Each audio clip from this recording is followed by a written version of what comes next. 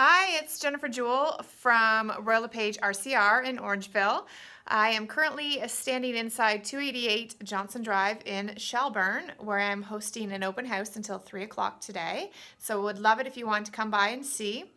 This uh, house did stand up to the windstorm yesterday, unlike some others I know, and I hope yours is doing uh, okay. If you're looking for a great home, this house is four bedrooms with four washrooms, three which are attached to uh, bedrooms, which is very great. It was an upgrade that they had done. Uh, beautiful upgraded kitchen.